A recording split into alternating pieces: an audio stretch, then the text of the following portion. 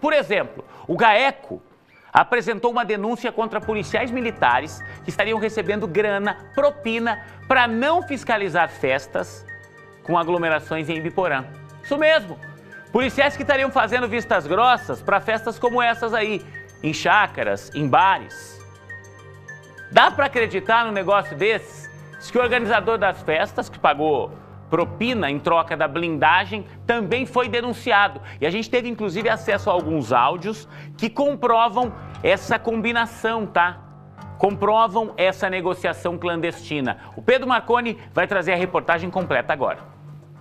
O áudio revela a parceria criminosa entre dois policiais militares. Ô meu querido, fica tranquilo, filho. Sossegado. Chegar alguma coisa aqui, eu eu cancelo aqui, fica sossegado, irmão. Não resolve aqui, fica um ovo o bagulho. A voz que você acabou de ouvir é do PM que atua no Centro de Operações do 5 Batalhão de Londrina, setor responsável por receber as queixas da população via 190. Ele foi denunciado junto com outro policial pelo GAECO, a Justiça Militar.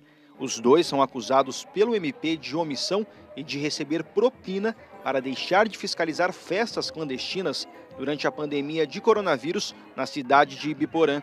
Um policial ficava na blindagem dos eventos, enquanto que o outro filtrava as denúncias que chegavam à corporação. Os crimes, ele obviamente envolve justamente a, a, a permissão, ou pelo menos o conhecimento e a atuação desses... Acesso, um dos policiais não pede dinheiro, mas a possibilidade de curtir a festa sem pagar nada.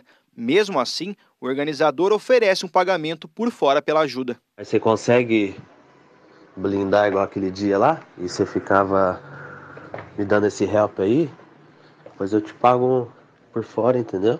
É só pra, como disse, a polícia não ia fazer aquele esquema.